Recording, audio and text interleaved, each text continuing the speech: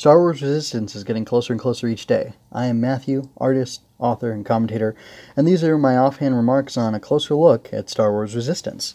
So another trailer just came out uh, less than an hour ago. Um, Filoni and some other people at Lucasfilm, Athena, I can't remember her name. Uh, anyway, uh, they're all talking about Resistance, and some of the actors are featured. And uh, I just wanted to go ahead and give myself about. I grabbed a couple snaps, um, and I wanted to give myself like 20, 30 seconds to talk about each of the different images and just kind of what I thought about them. This is a nice little group shot. I'm figuring that these five here are kind of going to be our main our main uh, people in the show that we're going to spend time with.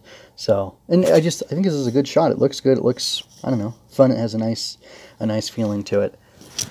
I think the thing that I'm most interested about um, uh, resistance right now, or the thing that has me most interested, because it's saying they're saying clearly in the marketing that it's definitely for kids, is just how slick and beautiful the animation is. I understand these are CG models, but somebody had to made them, make them, and that composition, uh, a human had to be behind that. The, the direction of this scene of these uh, ships flying here, racing, whatever, uh, is really interesting. Speaking of racing, um, Filoni mentioned that Team Fireball, which is Kaz and his crew. Uh, Yeager is the older guy with the dreadlocks.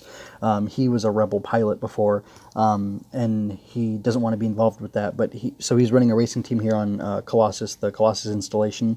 And uh, I mean, just look at all the background characters. You did not get this sort of thing in Rebels. So I either this animation's cheaper or Disney gave them a bigger budget or something because this is not what you saw before in Rebels and even in early Clone Wars, and it looks really great. So I love the depth of this. Anyway, so Team Fireball um, is needs to race like to keep on living, and Kaz is doing his spy stuff on the side. And then here's a glimpse we got at the Resistance. Um, I don't know who this guy is uh, in the chair. He reminded me of um, the guy who showed up in the Poe uh, comic, um, like an intelligence officer, but I doubt it's him because uh, he looks like he has too much hair and he, he wouldn't be involved in this series probably.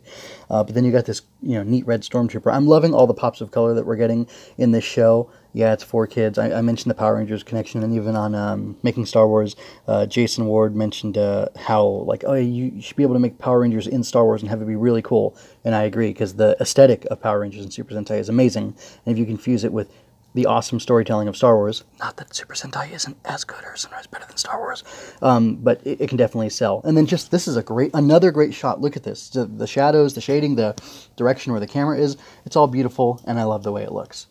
The more I see of Resistance, the better it looks. So anyway, I'm going to wrap up now. Uh, don't forget to subscribe and ring the notification bell so you can watch every video as it becomes available. Thank you so much for your time. If you enjoy my work, please give it a like and share it. If you'd like to chat, hit me up in the comments or tweet me at rcmoon. That's rc underscore m-u-n.